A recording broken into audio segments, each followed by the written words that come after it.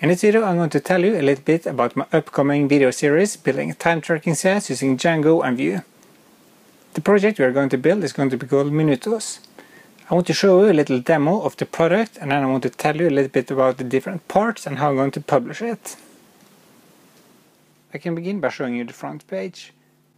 We have a simple menu, a few buttons and a link to the plans page.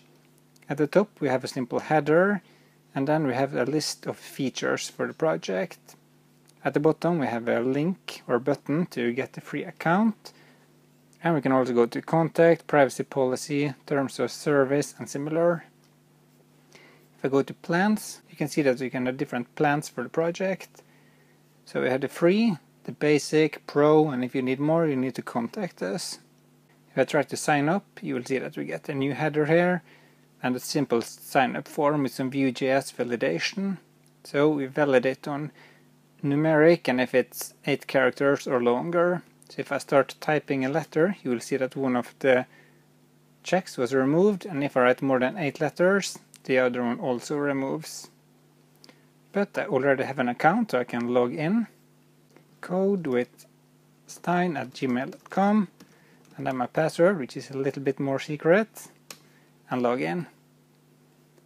And when I signed in now, you will see that I get information about what I have done today, what I've done this month, and tracked entries, and what my team has done this month. And I can also go back and forth in time. So if I go to previous day, you'll see that yesterday I worked 21 minutes. Yes, I'm really lazy. I can also go into user, for example John Doe, and see what he has done previously, can go back and similar. Up here I get a list of projects where I can see what how much time has been registered on this project and how many open tasks there are. I can also add more projects. If I go into a project I'll see a list of to-dos and if there were any to done to-dos they was, would be listed out below here. I can add more tasks and I can edit the project. And if I go into details I'll see the title the status of the task, I can edit it and I can register more time. At the bottom here you can see the logged entries for the project and who logged it and the total time. If I go to my account here I can edit this where I can change my name, email address, avatar and similar and I can also log out here. At the bottom here I get a list of the teams I'm a member of. As you can see here I'm a team owner the current team I'm on is Team Code with Stein. The current plan is basic. If I go into it, I'll see when I, my plan is going out and it's auto-renewing. I can change this by going into change plan and I can cancel the current plan or I can start a new one which is same as upgrade. And if I go back here again and go into the team, I can invite users and also have a list here of user users are a member. At the bottom here you see a list of invited users and when I invited them.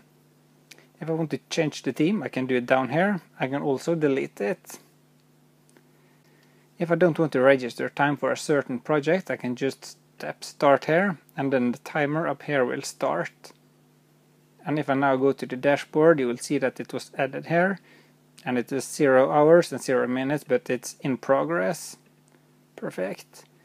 If I click it I can either discard it add later or add to a task. If I click add to task I'll set here.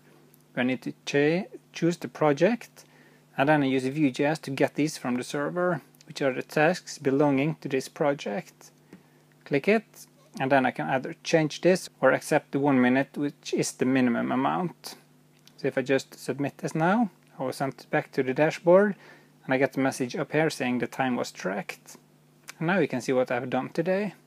Uh, I can also go down here, click discard to delete this, or I can add to task. Social media, same tasks, and you can see that this was many days ago. So if I submit it, it will not show here, but I need to go back to the previous month and it will show here in October. I'm going to split this project into 12 different parts. I'm going to publish three parts per week, Monday, Wednesday and Friday. The tech stack for this project will be Django and Vue, and I'm also going to use Bulma CSS for the design. If this sounds like an exciting project, please click like below, and if you have any questions, just leave me a comment and I'll answer it as soon as I can. I hope that you want to follow along, and if you want notification when the first part is published, you need to remember to subscribe to my channel and also remember to click the bell.